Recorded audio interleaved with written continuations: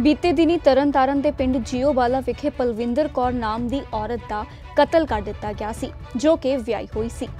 ਜਿਸ ਕਾਰਨ ਪੂਰੇ ਇਲਾਕੇ ਵਿੱਚ ਦਹਿਸ਼ਤ ਦਾ ਮਾਹੌਲ ਪੈਦਾ ਹੋ ਗਿਆ ਸੀ। ਜਿਸ ਤੋਂ ਬਾਅਦ ਤੁਰੰਤ ਪੁਲਿਸ ਨੇ ਬੜੀ ਹੀ ਫੁਰਤੀ ਦੇ ਨਾਲ ਸਾਰੇ ਮਾਮਲੇ ਨੂੰ ਸੁਲਝਾ ਲਿਆ ਤੇ ਮਾਮਲਾ ਸੁਲਝਾਉਣ ਤੋਂ ਬਾਅਦ ਇਹ ਸੱਚ ਸਾਹਮਣੇ ਆਇਆ ਕਿ ਪਲਵਿੰਦਰ ਕੌਰ ਦਾ ਦਿਓਰ ਹੀ ਉਸ ਦਾ ਕਾਤਿਲ ਸੀ। ਜੀਓ ਵਾਲੇ ਵਿੱਚ ਕੁਲਵਿੰਦਰ ਕੌਰ ਨਾਮ ਦੀ ਔਰਤ ਦਾ ਕਤਲ ਹੋਇਆ ਸੀ। ਕੀ ਸਾਰਾ ਮਾਮਲਾ ਹੈਗਾ, ਸਰ?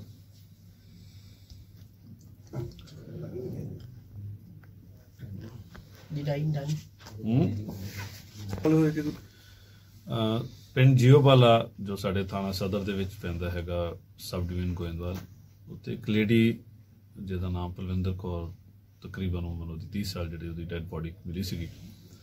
ਜਿਸ ਬਾਰੇ ਸਾਡੇ ਮੌਕੇ ਦੇ ਜਿਹੜੇ ਡੀਐਸਪੀ ਸਰਦਾਰ ਰਵਿੰਦਰਪਾਲ ਸਿੰਘ ਜੀ ਉਹਨਾਂ ਨੇ ਸੁਪਰਵਿਜ਼ਨ ਹੇਡ ਜਿਹੜਾ ਸਾਰੇ ਇਸ ਚੀਜ਼ ਦੇ ਕੇਸ ਦੀ ਜ਼ਿੰਮੇਵਾਰੀ ਅਹ, ਉਹਨਾਂ ਨੇ ਆਪ ਸੁਪਰ- ਸਾਰੀ ਸੁਪਰਵਾਈਜ਼ ਕੀਤੀ। ਉਹਨਾਂ ਦੇ ਨਾਲ ਐਸਐਚਓ ਹਰਿੰਦਰ ਸਿੰਘ ਜੋ ਉੱਥੇ ਨਵੇਂ ਲੱਗੇ ਸੀਗੇ ਉਹ ਸਾਰਾ ਕੇਸ ਨੂੰ ਮੋਨੀਟਰ ਕਰਦੇ ਹੋਏ ਉਹਦੀ human intelligence and technical surveillance ਦੇ ਬੇਸ ਦੇ ਉੱਤੇ ਜੋ ਪਤਾ ਲੱਗਾ ਕਿ ਉਸੇ ਦਾ ਹੀ ਇੱਕ ਦਿਓਰ ਜਿਹੜਾ ਸੀਗਾ ਉਹਨੇ ਉਹਦਾ ਮਰਡਰ ਕੀਤਾ ਸੀਗਾ। ਉਹਦਾ ਨਾਮ ਬਲਵਿੰਦਰ ਸਿੰਘ ਅਹ, ਉਰਫ ਮੱਖਣ।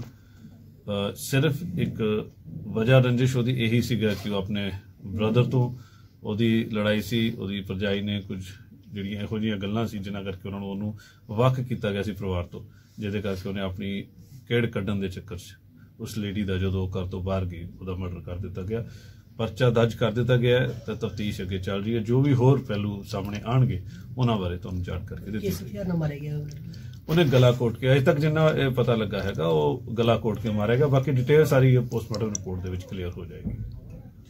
ਰੰਗਲਾ ਟੀਵੀ ਲਈ ਤਰਨਤਾਰਨ ਤੋਂ ਅਮਨਦੀਪ ਮਨਚੰਦਾ ਦੀ ਰਿਪੋਰਟ।